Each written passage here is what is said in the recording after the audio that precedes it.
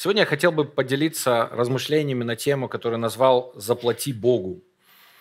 И цель моей проповеди сегодня порассуждать вместе с вами о том, могу ли я какими-либо какими своими усилиями, своими какими-то ритуалами э, дополнить или заплатить Богу какую-то дополнительную цену к тому, что уже заплачено на Голговском кресте. Конечно, в большинстве своем люди, верующие, они ответят, конечно, нет – но я хочу, чтобы вы не спешили сейчас с выводами. И да, правильный ответ – нет, э, мы не можем что-то дополнить жертве Иисуса Христа, но я хотел бы, чтобы мы не просто банально, скажем, поверхностно подумали об этом и ответили себе. Я хочу, чтобы мы углубились сегодня в некоторые аспекты этой темы. И я прежде всего прочитаю первое послание Коринфянам, 6 глава, с 19 стиха. Первое послание Коринфянам 6.19 нам высветят сейчас – Написано, разве не знаете ли вы, что тела ваши суть храм живущего Святого Духа, который вы имеете и от Бога, и вы не свои. Вы куплены дорогой ценой, посему прославляйте Бога в телах ваших и в душах ваших, которые суть Божьи. Можно было об этом больше поговорить, об аспекте того, что тела наши суть храм живущего в нас Святого Духа. Но мы, мы сегодня не будем касаться, углубляться, тратить на это время – я хотел бы, чтобы здесь мы обратили, что написано «Вы куплены дорогой ценой». Могу ли я доплатить что-то Богу, чтобы эта цена была более совершенной? И, и естественно, как мы начали, как я говорил сначала, нет, мы однозначно это понимаем, но я хочу предоставить вам варианты таких цен, варианты такой оплаты, и э, акцент я сделаю на славянском варианте такой цены. Прежде чем мы поговорим о славянском варианте такой цены, когда люди пытаются доплатить Богу или заплатить за какие-то божьи услуги, как бы, да. Прежде чем мы поговорим э, о славянском варианте, я коснусь немножко традиционных вариантов для нашей местности. Может быть, это больше касается нашей местности православия, э, в западном мире католицизма. Э, какая там существует традиция такой цены? В основном там люди сталкиваются с тем учением, что спасение очень сложно достигается. И если вы хотите и желаете спастись, то вы смотрите на то, как спасались перед вами а, святые отцы церкви, еле-еле, там, входя в Царствие Небесное, и вы понимаете, что вам точно ничего не светит, но если вы будете непрестанно молить Бога о помиловании, о спасении, то, возможно, шанс есть. Это такой вариант, вот как я говорил, традиционный, может быть, традиции православной и католической церкви. Конечно, кого-то это может обидеть, я понимаю. Это а, может оскорбить чьи-то чувства. Я хочу, чтобы мы просто трезво сейчас осознали – что из-за этого, тогда как мало шансов для спасения, на первое место очень сильно выходит следование традициям и ритуалам церкви. Где надо поклониться, где надо поцеловать, каким мощам приложиться и прочее, это становится очень важным. Это просто трезвый такой независимый взгляд. И это своего рода цена, которую ты платишь для того, чтобы спастись. И в данном случае эта цена добавляется к жертве Голговской. Да? Как бы есть Иисус со спасением, но есть еще много чего ты должен сделать на земле, чтобы спастись. Вторая традиция – это традиция, я бы сказал, больше иудейская. Это тоже популярное сегодня направление, когда многие христиане, они берут и к цене, которую заплатил Иисус на Голговском кресте, и причем это не ново, об этом еще апостол Павел касался и говорил, э, к этому еще начинают добавлять, и дальше уже кто куда, насколько готов глубоко пойти.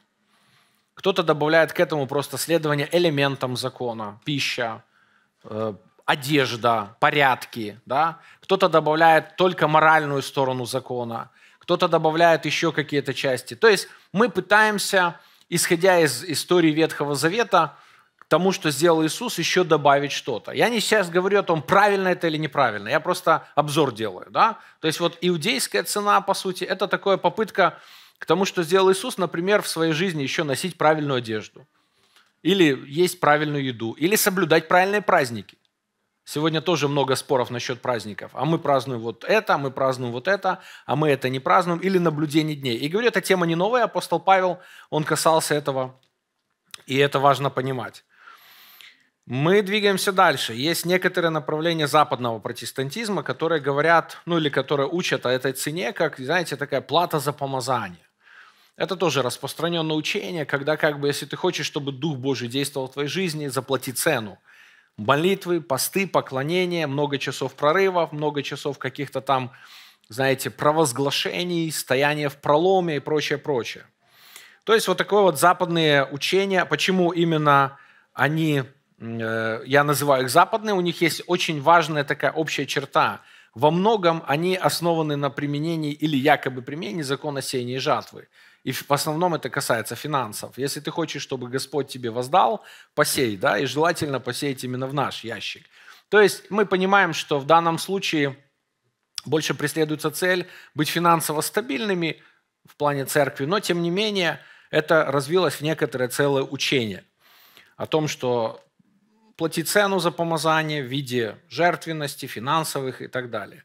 Ну и теперь я перехожу к славянской, протестантской традиции. Вот это уже для меня излюбленная тема, потому что в ней тоже обнаруживается своеобразная попытка заплатить цену Богу. Я говорю сейчас про славянскую протестантскую традицию.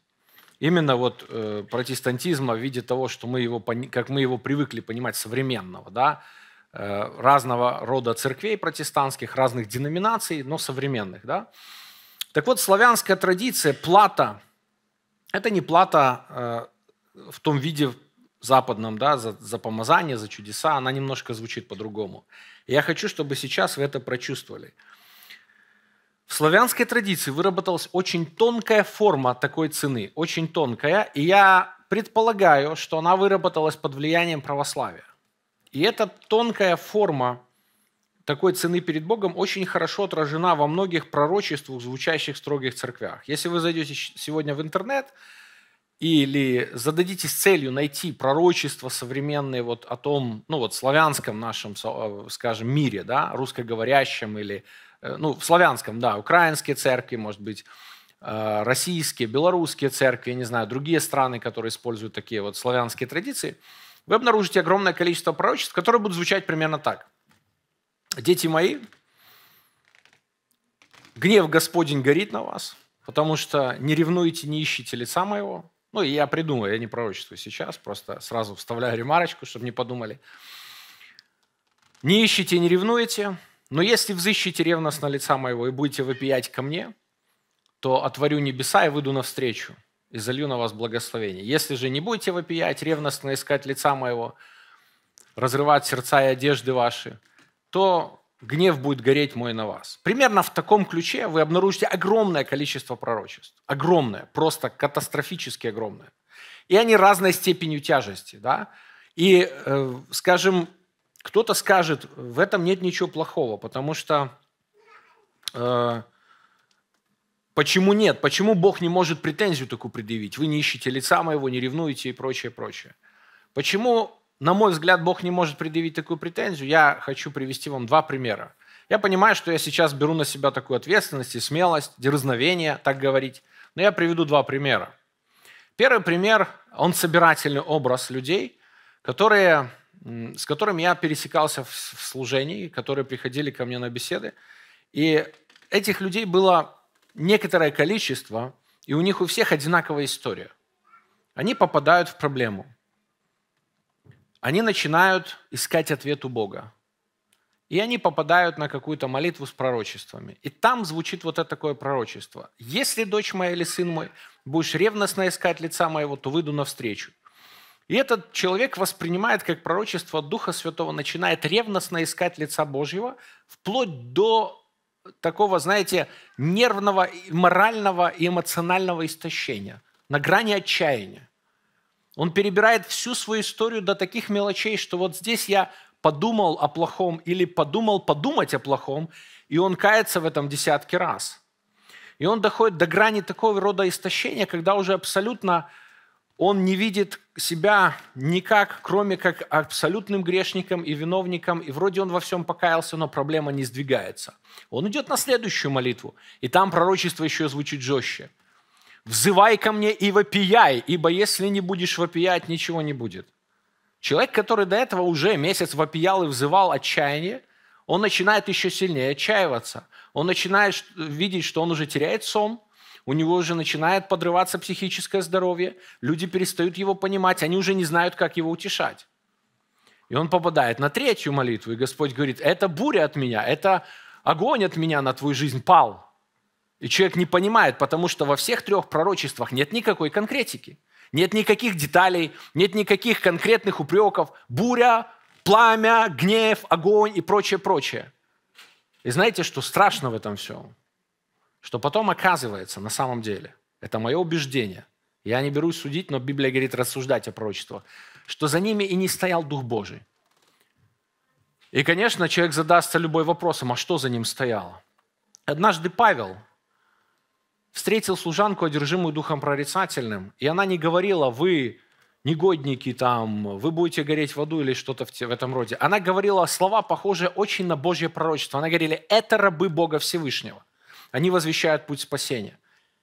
И апостолу Павлу в определенный момент времени было очень четко понятно, что за этими словами не стоит Дух Божий, как бы ни странно звучало. За красивыми, правильными словами стоял гнусный, грязный дух прорицания, который уводил людей от истинного пути Божьего. И вот эти люди столкнулись, скорее всего, на мое убеждение, не с Духом Божьим любви и благодати, а с Духом прорицания, который загонял их глубже и глубже и глубже в такую ситуацию, из которой уже невозможно выбраться. Вторая история, которая очень коснулась моего сердца. Однажды я увидел видео, я уже говорил про это видео когда-то в проповеди, но я вспомнил его и сегодня – я увидел видео, обращенное к церквям во всему миру, где родители ребенка, у которого была гангрена по какой-то причине рук и ног, это был маленький ребенок, у которого была гангрена обеих э, конечностей и рук, и ног, и ему грозила ампутация. Я не знаю судьбу, историю этого ребенка, но там был такой момент, там был такой эпизод, что эти родители обращались к Церкви Божьей по всему миру, потому что где-то на молитве было сказано, Господь, якобы Господь сказал, если Церковь Божья объединится в молитве и начнет взывать и вопиять за это дитя, то было сказано, я смилусь и выйду навстречу. И вы знаете, почему это тронуло мое сердце? Потому что в такой ситуации ни у кого нет шансов. Никогда вы не довопияетесь и не довзываетесь. Почему? Потому что тогда получается, что Бог занимает очень странную позицию. Маленький ребенок, которому я, как Бог, подарил жизнь, сталкивается с тем, что ему нужно ампутировать руки и ноги. Но меня это не тревожит. Мне как Богу все равно. Я любящий только на страницах Библии. Я описан красиво только в Евангелии, обо мне только красиво проповедуют, но на самом деле я другой, я злой и жестокий. Я Бог, которому все равно для этого, на этого ребенка.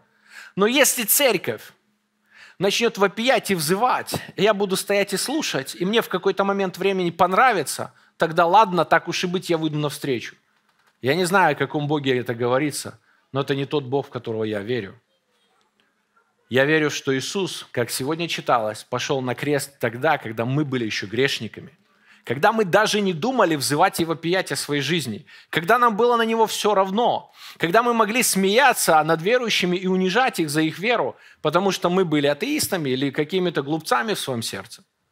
Друзья мои, я хочу обратить ваше внимание, что славянская цена протестантской традиции выражается в том, что развилось целое учение, целая доктрина о том, что перед Богом надо все время взывать и вопиять, разрывать свое сердце, непрестанно пытаться искать его лица, как будто он где-то прячется или как будто он где-то скрывается.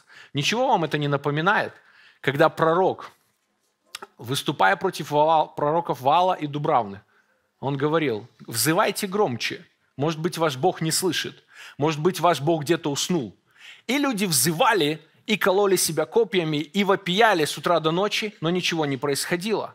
И я знаю огромное количество историй, когда вот такие люди доходили до полного отчаяния, потому что годами своей жизни они взывали, вопияли, взывали, вопияли, взывали, вопияли, и ничего не менялось.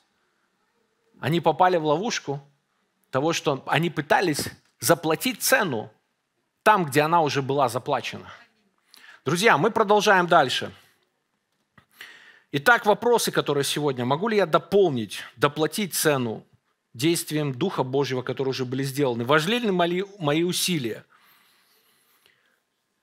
Могу ли я как-то своими усилиями изменить что-то? Я хотел бы попытаться сегодня вместе с вами эти вопросы очень быстро, насколько получится, разобрать. Итак, могу ли я дополнить цену? Из чего состоит мое спасение, мое, мои отношения с Богом, и есть ли в нем моя часть? Безусловно, важно понимать, что, на мой взгляд, мое убеждение, что действия Божьи в нашей жизни всегда состоят из двух частей. Это Божья часть и это моя часть. Божья часть выражает себя в следующем. Это совершенная жертва Иисуса Христа. Я сразу обозначу. А моя часть – это мое решение воли по принятию этой совершенной жертвы Иисуса Христа. Сегодня, когда э, Сергей вначале говорил о том, э, точнее, когда он перед причастием говорил о том, что мы очень нуждаемся в Иисусе, я ликовал, потому что на самом деле это и есть очень глубокое и важное послание для любого дня, любой церкви. Потому что мы нуждаемся в Иисусе. Мы нуждаемся в Его присутствии в, нашем жизни, в нашей жизни. Мы нуждаемся в Его близости с Ним – и я понимаю, что для кого-то, когда я говорю эти слова, они звучат как-то, может быть, пустыми, но только по одной простой причине. Потому что вы до конца не знаете Его. И это не упрек. Это не какая-то, знаете, брошенная кому-то фраза, чтобы обличить или что-то еще. Самое главное, что может иметь в жизни своих христианин, это знать Его, знать Иисуса Христа. Апостол Павел говорит, я ради этого познания отказался от всего. Я хотел бы, чтобы мы с вами имели такие сердца, чтобы ради Иисуса, ради познания Христа мы тоже могли смело и легко отказаться от всего. Я открою послание к евреям, 10 глава, 10 стих.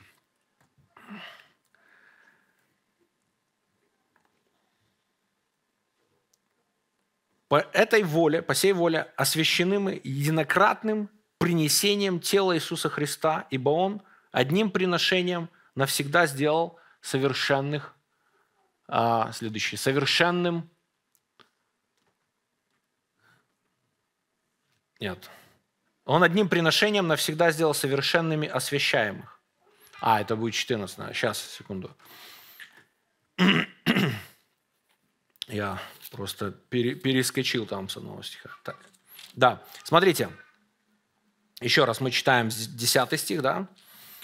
Написано, по сей воле освящены мы единократным принесением тела Иисуса Христа. Я пропустил, почему? Потому что хочу именно вот этот акцент, 14 стих. «Ибо Он одним приношением навсегда сделал совершенных освящаемыми, э, совершенными освящаемых». Мы принесены или освящены, 10 стих, единократным принесением тела Иисуса Христа. Это важный момент, который Библия очень четко показывает – мы освящены единократным. Он однажды принес себя в жертву. И написано дальше, он одним приношением навсегда сделал совершенными освящаемых. Это очень важный духовный момент. Почему я подчеркиваю что-то духовный? Здесь, конечно, э, люди скажут, но это вопрос теологический. Одним, не одним, совершенным. Нет, друзья – это вопрос не теологический, на мой взгляд. Это вопрос духовный. я сейчас докажу вам это, попытаюсь доказать, по крайней мере. Может, кто-то, кого-то я не убежу, не убежу, но я попытаюсь. Смотрите, почему это вопрос духовный? Он сделал совершенными освящаемых. Любая попытка добавить что-то к этой жертве, к этой цене доплатить, то есть написано, что его жертва была, делает нас совершенными, освящает нас. Любая попытка что-то добавить к этой цене, она не просто является ну, попыткой. Я хотел бы предположить сегодня, что это является богохульством. Я объясню почему, или попытаюсь аргументировать, как я уже сказал. Четвертая книга Царств, первая глава со второго стиха говорит, «Ахози упал через решетку с горницы своей, что в Самарии, и занемог. И послал послов, сказал, пойдите спросите у Вельзевула, божества Акаронского, выздоровлю я от сей болезни». Это они пошли спрашивать. Тогда ангел Господень сказал Илии, «Встань, пойди навстречу посланным от царя Самарийского, скажи, разве нет Бога в Израиле, что вы идете вопрошать Вельзевула, божество Акаронское? За это так говорит Господь, с постели, на которую ты лег, не сойдешь с нее, но умрешь». И пошел Илия и сказал им. Вы знаете, эта история, конечно, говорит о том, что царь пошел вопрошать божеству Акаронскому. Что-то было колдовское, оккультное. Но давайте подумаем о чем, какая претензия у Бога была к нему – он говорит, разве нет Бога из, в Израиле, что ты пошел вопрошать кому-то еще? Тебе потребовалось еще что-то, чтобы быть успешным в своей жизни. Иными словами, когда он упал и занемог, у него все было хорошо, наверное, с ритуальной частью, когда он ходил и поклонялся живому Богу. Я не знаю точно его жизни, да, то есть мы не можем ее сказать на 100%, но из того, что мы знаем, скорее всего, да, может быть, он был угодный, неугодный Богу, но в его жизни случилась история, он упал и занемог, он заболел, и он начал искать выхода. И он понимал, что есть Бог, и, возможно, к нему обращался – но послал также спросить у Вильзевула. Он пытался найти все варианты. Иными словами, друзья, когда мы попадаем в трудную ситуацию, как я говорил про эту славянскую цену, мы начинаем сначала обращаться к тому, что нам доступно. Мы начинаем молиться, и это вроде как-то должно сработать, но оно не срабатывает. Мы начинаем перебирать свои грехи, и оно не срабатывает. Мы начинаем бегать по пророкам, и оно не срабатывает. Мы начинаем вопиять. Иными словами, мы начинаем брать все возможные варианты. И эти варианты, как правило, не являются Божьими вариантами. Они являются попыткой доплатить тому, что сделал уже Иисус. И вы скажете, ну ты здесь перегибаешь, потому что он обратился к божеству Акаронскому. Поэтому Бог сказал, ты не встанешь с той постели, на которую ты лег. Но я хочу обратить ваше внимание на один новозаветний стих, который сегодня уже упоминался – Первое послание Коринфянам говорит, кто будет есть хлеб сей и пить чашу недостойно, как мы говорили сегодня, не рассуждая, да, виновен будет против тела и крови Господней, да испытывает себя человек таким образом, пусть ест от хлеба и чаши достоин. Да, ест от хлеба и чаши сей. Это 11 глава, 27 стих, да? И кто ест и пьет недостойно, тот ест и пьет осуждение себе, не рассуждая о теле Господнем. От того многие из вас немощны, больны и немало умирает. Я не хочу проводить прямые параллели между тому, что Господь сказал, ты не встанешь в своей постели, и тем, что говорится здесь, Каринской церкви. От того из вас немощны, больные немало умирают. Но я осмелюсь предположить, что когда вот такое предупреждение звучит Каринской церкви, вы, принимая причастие, делаете это не совсем правильно, не рассуждая о крови и теле Господней, не рассуждая, как сегодня Виктор говорил, не осмысливая того, что вы делаете, вы совершаете ошибку духовную, и, и от того из вас немощны, больны и умирают. Послушайте, друзья, я хотел бы, чтобы мы осознали, это не просто устрашающее какое-то угрожающее место. Я хочу осознать для себя, не является ли наша попытка доплатить цену не просто пустой попыткой, не является ли оно в какой-то мере богохульством, которое сильно раздражает Бога. Послушайте еще раз. Я хочу для себя осознать, что когда я принимаю жертву Иисуса Христа, мой фундамент является то, что говорится к евреям. Он сделал нас совершенными. Когда Он нас освящает своей голговской жертвой, мы становимся перед Его лицом совершенными. Это наше основание. Это мой фундамент. Не то, что я буду ревностно в какие-то моменты своей жизни искать лица Господня. Не то, что я в какие-то моменты жизни буду сильно каяться, потому что у меня заболело. Не то, что я в какие-то моменты своей жизни буду вопиять и взывать. Это действует во всей моей жизни, что одним приношением своим Он сделал меня совершенным. Я понимаю, что здесь возникает очень много вопросов, и я попытаюсь сейчас их как-то разрешить. Когда совершенное вот это духовное действие совершен, э, Иисус сотворил, сделал, важно понимать, что оно было совершено в духовном мире – оно не, его невозможно уже как бы улучшить, потому что это уже выпад против Иисуса Христа или попытка обойти Иисуса Христа. Кто-то, конечно, не согласится, скажет, нет, нет, нет, мы все это делаем во Христе. Друзья, Евангелие от Иоанна говорит, 14 глава 6 стиха, Иисус сказал, «Я есть путь, истина и жизнь, и никто не приходит к Отцу, как только через Меня.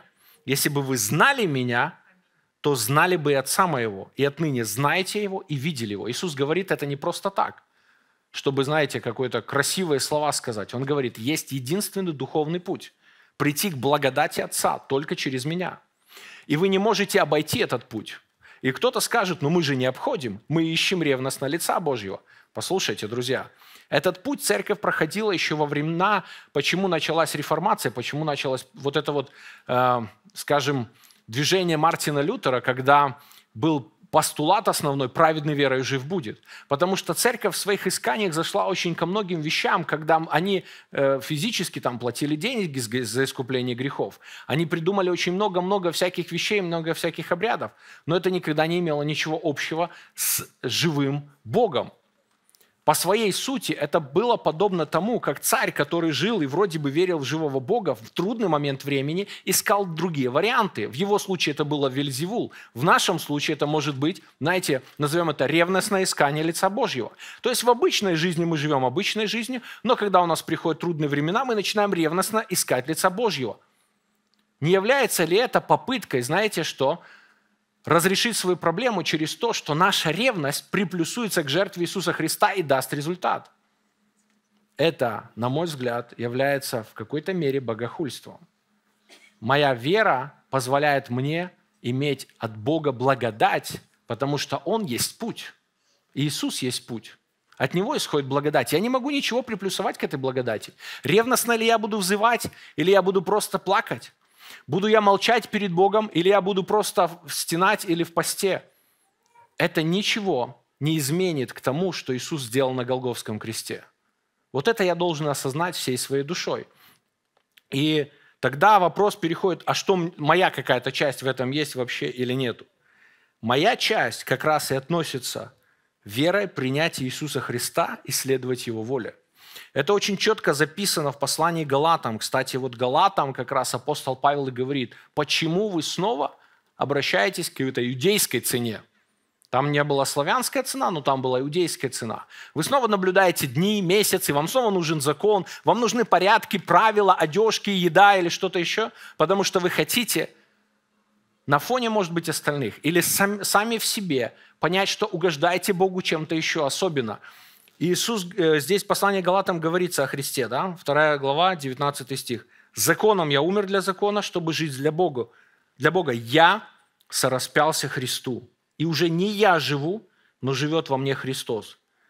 И дальше он пишет, а что ныне, то есть сейчас я живу в теле, во плоти, то живу верой в Сына Божьего, возлюбившего меня и предавшего себя за меня.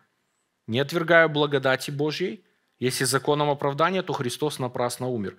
Это такой вот отрывок очень может быть какой-то разбросанный по мыслям, но я хочу его так вот суммировать, подытожить то, что апостол Павел говорит. Он говорит, я сораспялся Христу, живет во мне Христос.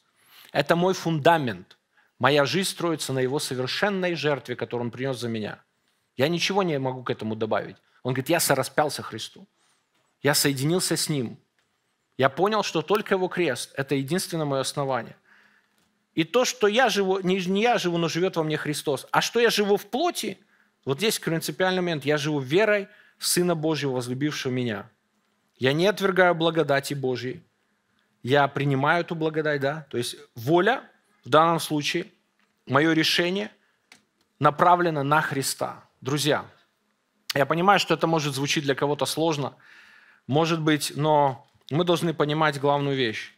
Моя воля должна быть направлена на Христа.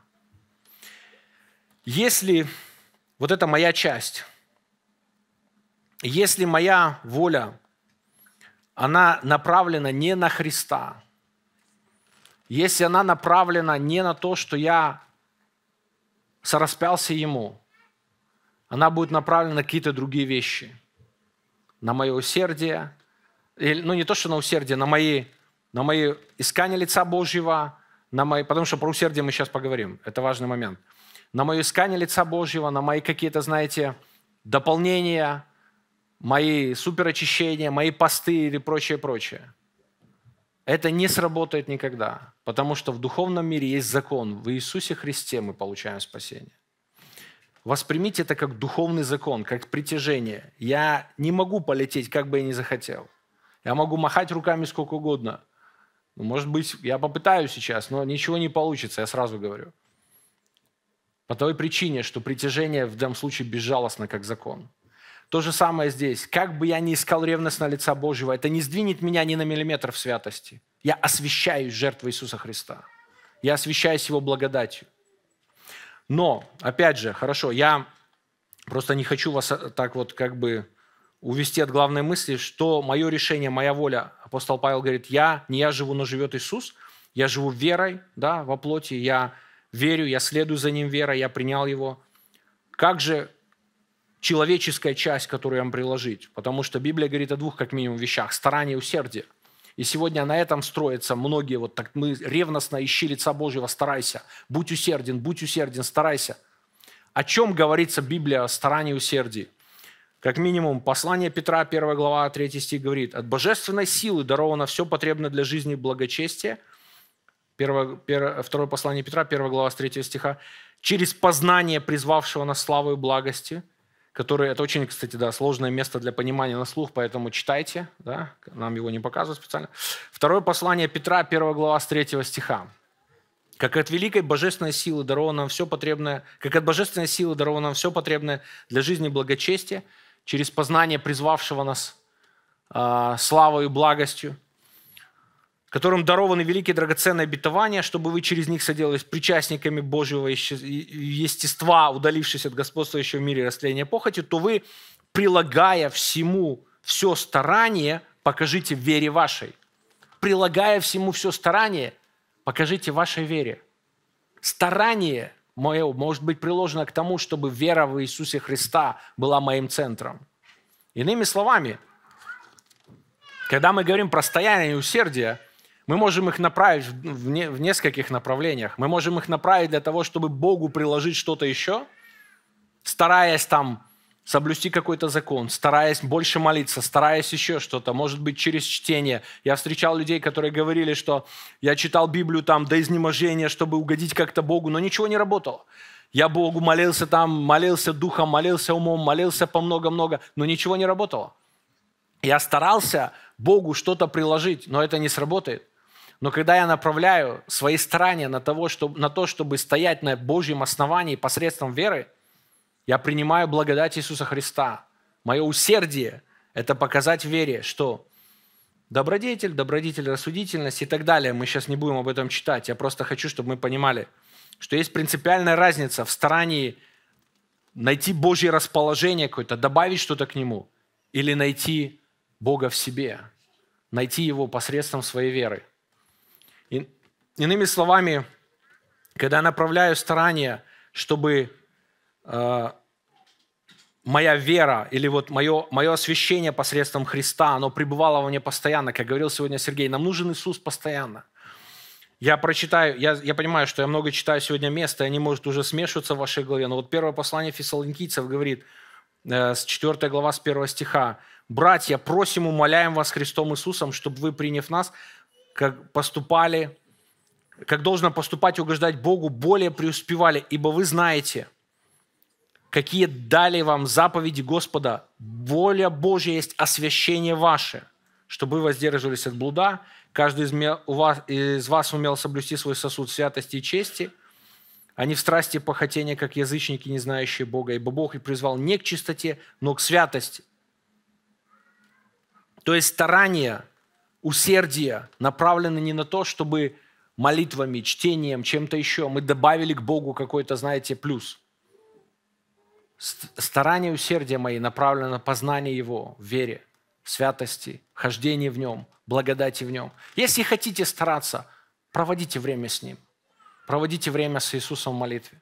Если хотите стараться, проводите время в добродетели, благословляя кого-то, простирая кому-то руки. Кстати, здесь, вот если дальше читать послание фессалоникийцам с 10 главы, «Умоляем, братья, вас».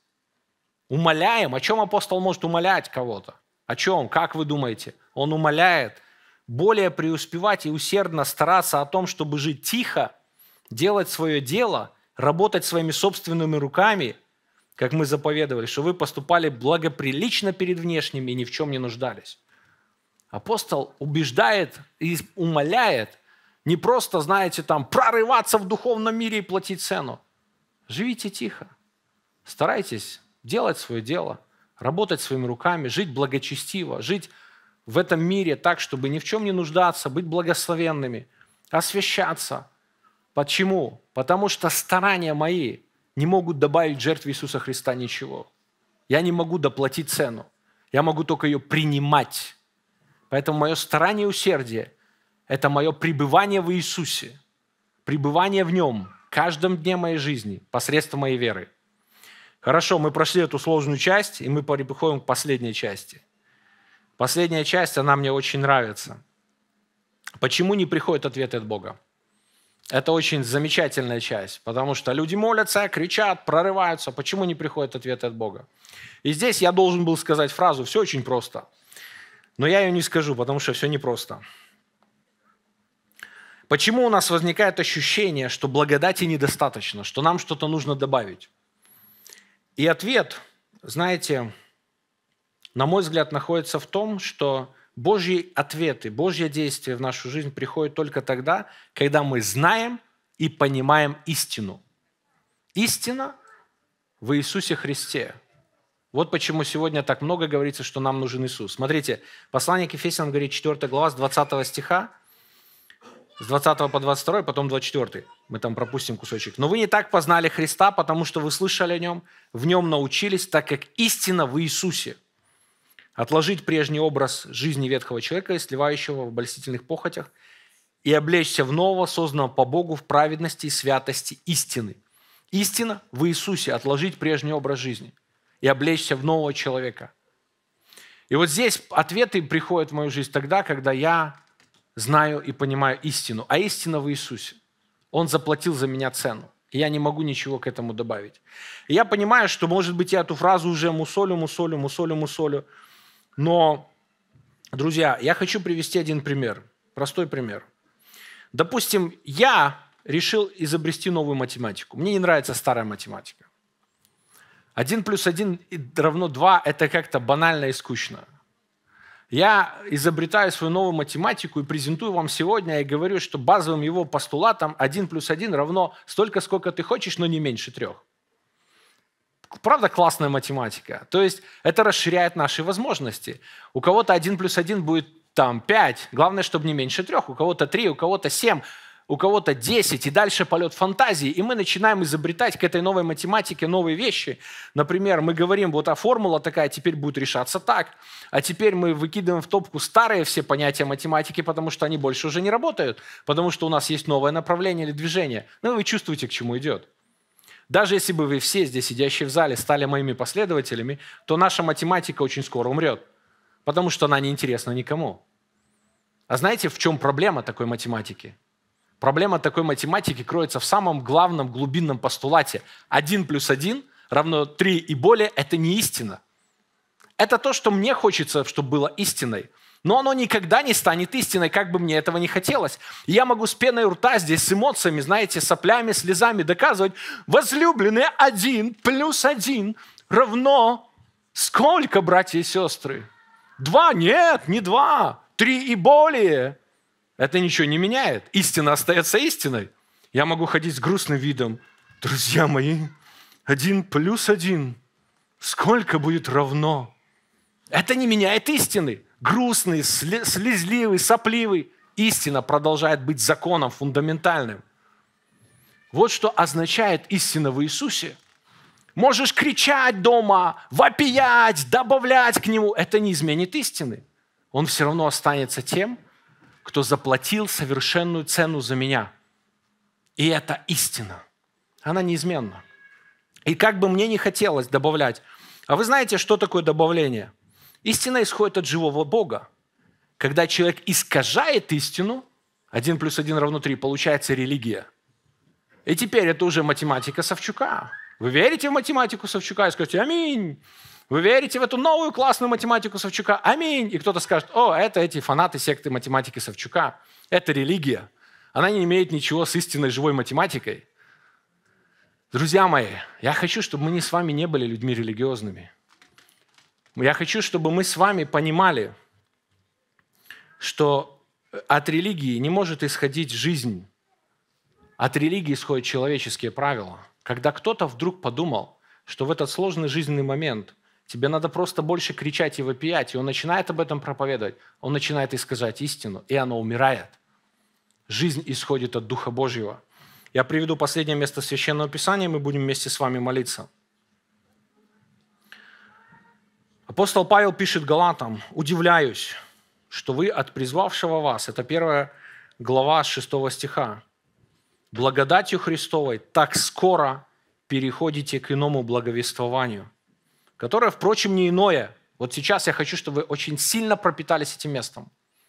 Которое, впрочем, не иное, а есть люди, смущающие вас и желающие превратить, переиначить, иными словами, благовествование Христова.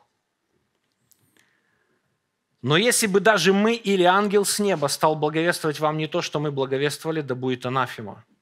Я пропускаю с 11 стиха, читаю. «Возвещаю вам, братья, что Евангелие, которое я благовествовал, не есть человеческое. Я принял его и научившись не от человека, но через откровение Иисуса Христа». Друзья мои, почему не приходят ответы? Потому что люди искажают истину. Апостол Павел пишет Галатам, «Удивляюсь, что вы от благовествования, которое приняли, от призвавшего вас благодатью Христовой, от призвавшего вас благодатью Христовой. Не все, я, я чувствую, что не все пропитались этим. Будем повторять, пока мы все не пропитаемся. Но, наверное, я в первый, да? Удивляюсь, что вы от призвавшего вас благодатью Христовой. Вы уверовали в Иисуса Христа, и Он призвал. И это было не от человеков. Это невозможно сделать от человеков. Никто не может взять себе Евангелие и присвоить себе. Почему я так смело говорю, кто-то скажет, ой, да ты молодой, да ты еще не знаешь жизни, да ты еще не знаешь, вот есть много деноминаций, есть много всего-всего, а это не важно. Никто не может присвоить себе математику и назвать ее своим именем. Вы можете подчиниться ей и присоединиться к математике. И тогда ваше имя, может быть, впишут в ряд великих математиков – но вы не можете подчинить ее себе, она будет жить независимо от вас. Никто не может взять Евангелие и присвоить его себе. Вы можете подчиниться ему и сделать его своей жизнью. Но никто не может взять и изменить его, превратить его, подстроить под себя. Как только вы это сделаете, оно тут же становится вашей религией, и оно умирает. Евангелие живо, пока оно принадлежит Иисусу Христу. Вот почему без Него мы не можем ничего. Вот почему истина только в Нем. Вот почему Он сказал, я есть путь истины и жизнь, потому что только Ему принадлежит Евангелие Иисуса Христа. Оно так и называется, Евангелие Иисуса Христа. Благодатью мы спасены через веру. И сие не от нас, не от дел. Это дар Божий, чтобы никто не хвалился. Потому здесь написано, я удивляюсь, что когда Он призвал вас, вы приходите к иному благовествованию. А что это за иное благовествование? Это то, что добавили люди. Это то, что приплюсовали люди. И оно тут же стало религией, и оно тут же умерло, оно перестало быть животворящим. И вы можете следовать этому годами, вы можете наслаждаться этим один плюс один равно три, но оно мертвое. Оно никогда не будет вплетено в Божью жизнь, потому что оно уже не принадлежит Иисусу. Оно принадлежит людям. Это иное благовествование, которое написано не иное, а люди превратили его, они смутили и желая извратить благовестие Христова. Но, говорит, даже если бы мы или ангел пришел, и многие удивляются, Павел, почему так смело? Почему даже если бы ангел пришел, ты так смело выступаешь? Потому что он говорит, Евангелие не принадлежит мне. Я только узнал его через откровение Иисуса Христа. Это не принадлежит моему духу, это не принадлежит моему разуму, моему слову. Я только присоединился к нему и исповедовал вам стал свидетелем этого Евангелия. Потому я так смело говорю, если придет ангел или человек, или любая другая духовная сущность и будет говорить что-то иное, будет анафима. Он будет попадать под проклятие, потому что он делает свою религию. Евангелие невозможно узурпировать, его невозможно захватить, его можно проповедовать, его можно взять в свое сердце и жить им. Оно не принадлежит мне или вам, оно принадлежит Иисусу Христу. И поэтому сегодня, когда Церковь Божья возвещает Евангелие Иисуса Христа, она живет – она будет жить независимо от того, какой антураж вокруг. Стоят ли тут свечи, висят иконы или какие-то атрибуты. Зависит все от того, взяла ли Церковь Божья Евангелие Иисуса Христа и пропиталась им, живя верой, или мы делаем свою религию, добавляя к Евангелию что-то еще, что нам нравится. Кому-то смирение, кому-то танцы, кому-то слезы, кому-то смех. Давайте мы встанем, будем молиться, потому что я могу говорить об этом бесконечно. Друзья, Евангелие Иисуса Христа. Я делаю вывод или какое-то краткое резюме перед нашей молитвой. Я ничего не могу добавить к Евангелию Иисуса Христа. Его голговская жертва, она совершенна. если сегодня у тебя есть в жизни ситуации, которые ты не можешь пройти, преодолеть, возможно, что-то происходит неправильно с твоим фундаментом внутри. Возможно, ты неправильно понимаешь для себя, что значит искать лица Господня. Такие есть примеры в Библии. Но это не значит, что я своим смирением или своей какой-то суперкротостью или своим воплем добавлю что-то в моей ситуации. Я могу только предоставить ее Иисусу Христу. Я могу только открыть свое сердце в вере. Моя часть усердия и смирения или усердие, моя часть, когда я просто в своей вере, в своем ревности, в своем может быть, э, стремлении я познаю Иисуса Христа, я присоединяюсь к Его Божьей благодати, присоединяюсь к Его истине. Мы сейчас будем молиться.